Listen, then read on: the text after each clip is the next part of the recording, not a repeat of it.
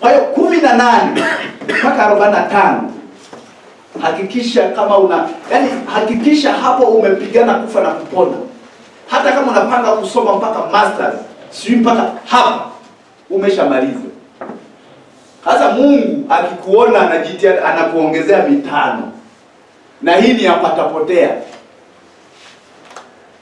Sasa hii lakini hii miaka ndiyo ya rafu duniani.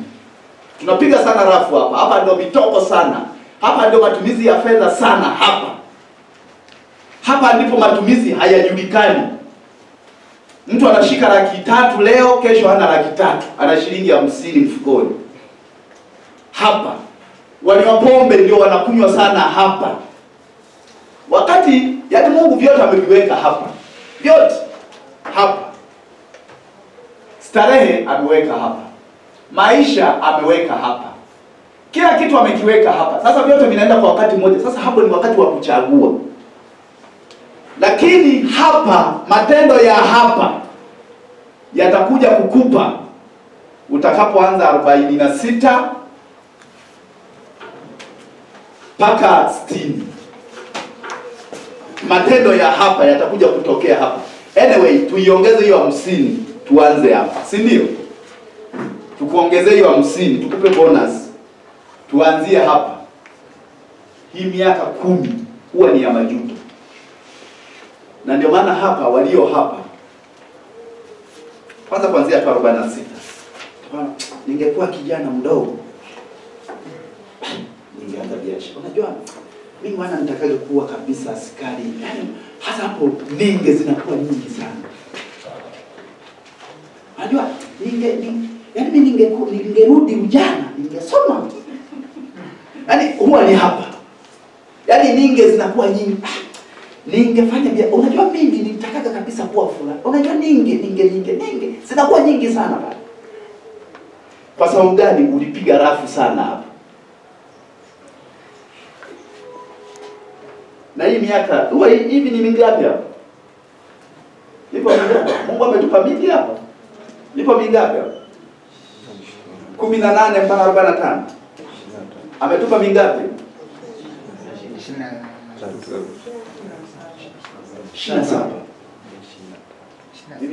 ishirini na saba. Eh? Hii ndio ya maisha ya kutengeneza. Hapa utapata mke, hapa utapata mme, hapa kuna watoto, yaani kila kitu kiko hapa. Hapa ndipo ujenge nyumba, hapa ndipo kama ni kampuni uanzishe. Kwa hiyo hii miaka ni ya kuamka alfajiri, ni ya, yaani ni ya, ni ya mchaka mchaka, yani sio ya mchezo hii miaka. Yani hapo kila kitu usome ute, yaani maisha yote yako kwenye ishirini na saba hiyo, na nyie si mnaiona eh? Eh? Kwa sababu hapo usome, hapo uowe, hapo ufanye nini, uzae, hapo ulee watoto, hapo ujue familia yako itakuwaje, hapo hapo. Ishirini na saba. Ukishaanza nimekuongezea mitano ya ya kukarabati kumalizia malizia, kama kuna vitu ulikuwa umevisahau sahau, lakini ukianza hamsini unaanza hata mtu akikwambia tuanze biashara, ah, mimi na hamsini hii mimi nitakufa hivi hivi, basi. Kuna watu wanajitahidi hapa, lakini chansi ya kuwini wako kwenye kumi, unaweza ukakuta wangapi hapa. Wapo, sio kwamba hawapo, lakini hata akiwini sana hapa hata tu, hata hata tumbua vizuri hela yake. Sasa hapa ndio ile ninge, ah, ningefanya hivi, ningerudi ujana, ningeolewa na mwanaume mzuri, ningerudi hapa. Nini, yaani hapa kila ni majuto. Hapa. Sasa kuna hii ya sitini. Mpaka sasa huko mbele ambapo Mungu atasema kama mwenzetu Mugabe jana amemaliza ana tisini na ngapi? Na tano. Sasa hapo huwa mtu anawaza kufa. Hapa usiende kuanza kupanga na mtu huyu biashara, wala ukimwambia ukimwambia tufanye hiki atakwambia tu. "Ah, sijui kama ninaweza. Mimi nimeshakuwa hivi, labda akushauri tu wewe ndio ufanye nini, sababu huyu hawezi kupiga hata safari ya siku tatu kwenye basi. Hivi unaweza ukamwambia huyu bwana, twende Kongo, twende Uganda, twende, inatege ni wachache. Ndio maana nasema chance ni kidogo sana, wakati mwingine ni wachache sana. Huyu sana sana namwambia kiuno, kiuno. Yaani hapa sasa matukio yote ya huku aliyoyafanya huku yanaanza mabega, yaani kila siku yeye ni panado, mara hikima, yaani sasa vitu vimeshagoma hapo, hawezi hata kuruka msingi. Hata kama mzee ruka, anakwambia tuzungukie kule, mzee hapa ruka tu, njoo njoo, hawezi. Na ndio maana hata serikali inakutapika, hata serikali inakwambia wewe tena huhitaji. Unajua serikali ni wachumi sana. Yaani ukiona unafanya kazi na serikali na wewe lazima uwe na akili za kutosha. Hakuna watu wajanja kama serikali. Kwa sababu kwanza kama unapata mshahara, tuseme unapata laki tano. Si ndio? Kwanza tu la kukata mfanyakazi hakwepi kodi, si ndio? Lazima akutandike kodi. Akishakutoa kwenye kodi, sasa hivi imewekwa bima ya afya NHIF, si ndio? Anakata hapa hapa. Alafu anakuja sijui nini, take home yako unajikuta unapeleka laki moja. Sasa hii laki moja kwa sababu kuna makato ya maana, sijui chama cha wafanyakazi, sijui mimi niko Tarugu, mimi sijui niko Twiko, sijui niko nini, wanachukua tu. Kwa hiyo lengo lao uendelee kuwategemea, na ndio maana anakupa hela alafu anazichukua. Na mfanyakazi analiwa sana, kwa sababu ukiichukua hii laki moja ukienda kununua sukari unalipa tena kodi, ukienda kununua nguo unalipa tena kodi. Kwa hiyo unajikuta hela anakupea kwa mfumo huu, anaichukulia huku Yaani anakuwa anakupa kama mtoto mdogo, anakufanyia hivi, alafu huku analeta hivi anazichukua. Kwa hiyo miaka yote utaendelea kumtegemea. Ili utoke, lazima uwe mjasiriamali. Mwambie umeniajiri, lakini nakaa na wewe kwa akili. Kwa hiyo ni, ni, ni, ni, ni, ni, mambo kama hayo. Kwa hiyo hii ni miaka ya kufa hii na hapa unakula kile ambacho ulipanda wapi? Hapa. Kama ulijenga nyumba zako za kutosha, unaweka unaweka hapa. Wapangaji wanakuwa wanakuletea na, na kadi zako za benki unakaa nazo hapa. Kuna wengine wanakaga nazo na kwenye kofia huko ndani. Nilikuwa namuona mimi mzee wangu babu yangu alikuwa anakaa na na nani yake kwenye kofia. Huyu hata ukimwambia mzee, naomba hela yangu niliyo kuwekeza, nakwambia toka nje kwanza. Ukitoka nje kama pale, anaingia ndani, anafunga na mlango na na kufuli. Babu alikuwa anafunga na funguo, anakaa mle ndani, ndio anamuita Deus, njoo. Ukitoka na kwangu, lini wekeza shilingi ngapi? Elfu ngapi? Hii hapa. Hata alipoziweka kwenye miaka hii huwezi ukaziona. Kwa hiyo hapo ni sehemu unakula matunda uliyoyafanya hapa. Sasa mimi naangalia mlioko hapa, karibu wote mko hapa, wachache sana ambao sasa wako hapa. Hebu kafanyeni kazi, maana haya majibu yatakuja kuitika na wewe hapa. Ndio, na ndio maana sasa hivi sasa watu wamekuwa waombaomba wengi, na vijana siku hizi wanaomba. Unaona mjini, ah, brother, vipi, una una una moja una elfu moja ukimwangalia na mkono unaanza kupiga mizinga ukiwa na miaka thelathini kweli?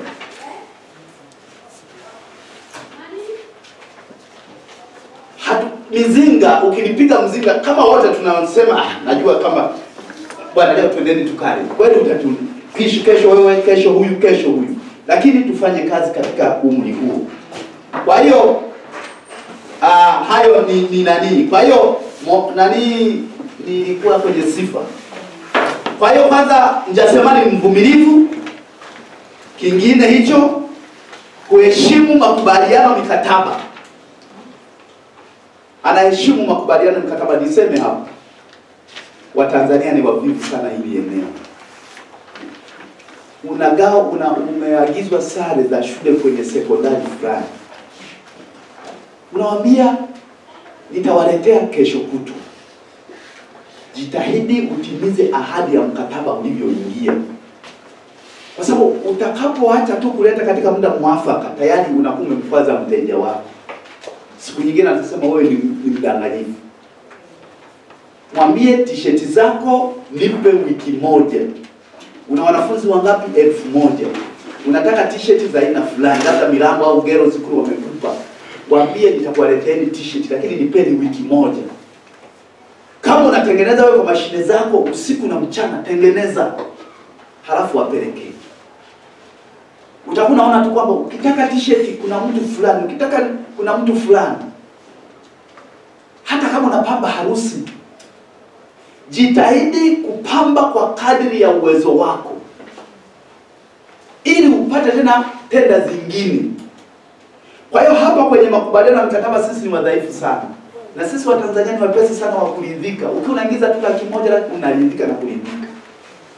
Mtu anakupigia seni na harusi, kwanza unaanza kumuuliza ukumbi ukoje? Hivi ume wanani wa mkubwa sana ule, labda mnipe milioni mbili. Sasa hauteki yani hata ile kwamba niende nikamuone niongee na mteja, kwa sababu tu sasa unapata wala hujatajirika wala uja, yani ni wepesi sana. Ukipata hela ya kubadilisha mboga, sisi ni wepesi sana wa kuridhika, lakini kuna watu hawaridhiki na mjasiriamali haridhiki. Nani alishashiba fedha?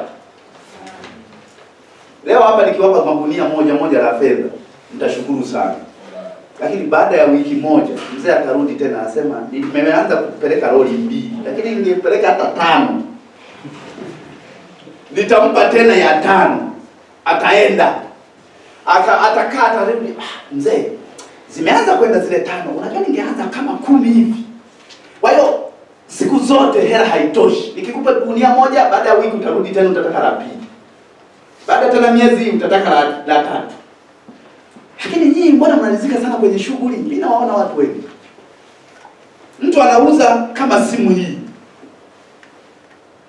naambia hii simu shilingi ngapi? Tena anamwambia elfu moja, anaangalia na pembeni. Sasa unaweza ukawa unapoteza wateja. Kwa hiyo nita, nitasema huku, heshimu sana makubaliano. Una supply chakula, waambie chakula saa nane, saa saba labda chai saa nne, saa nane chakula cha mchana. Yale makubaliano mlioingia na yule ambaye amekwambia unaleta chakula kwenye semina yangu, hakikisha umejitahidi, panga timu yako vizuri. Lakini leo mtu unaweza ukamwambia sisi unaagiza viatu, basi unaenda da niletee kiatu, nitakuletea tena nitakuletea, usijali shoga, usijali, umemesha kuwa na mashoga, usijali. Anaenda moja kwa moja, unakuja unaonana naye mjini, unamwambia ndugu, vipi, mbona ukuleta vile viatu? Ah, viatu nilileta, lakini wakavichukua. Sasa mimi nilikwambia uniletee viatu, nikaacha na kununua sehemu zingine, nikakusubiri wewe, halafu labda mtu alikuwa na harusi yake, alikuwa na tukio lake, umemwangusha.